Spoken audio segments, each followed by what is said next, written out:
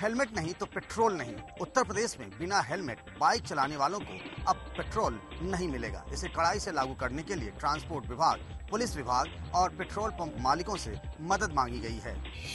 बिना हेलमेट दोपहिया गाड़ी ने चलाने का नियम तो बरसों से है। फिर भी यूपी में इस नियम पर अब तक कड़ाई से अमल नहीं होता था। लेकिन उत्तर प्रदेश प्रशासन ने अब इस नियम को कड़ाई से लागू करने का फैसला किया है। सरकार इस कदम के ज़रिए सड़क हादसों में कमी लाने की कोशिश कर रही है।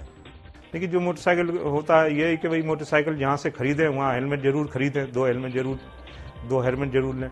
लेकिन पहनना तो अपने स्वयं को है ना। जब माँ बाप को अपने बच्चों की चिंता करनी चाहिए। मेरा हेलमेट रखा ऑफ़िस में रखा हुआ है। मैं पेट्रोल भराने सिर्फ़ आया था। और मुझे नहीं मालूम अभी भी मुझे आप भी बताया हेलमेट ज़रूरी है। अभी मैं लगा के आऊँगा। इससे लोगों में इसके प्रति जागरूकता बढ़ेगी जिससे लोगों की सुरक्षा और उसमें उनके बचाव में आसानी होगी।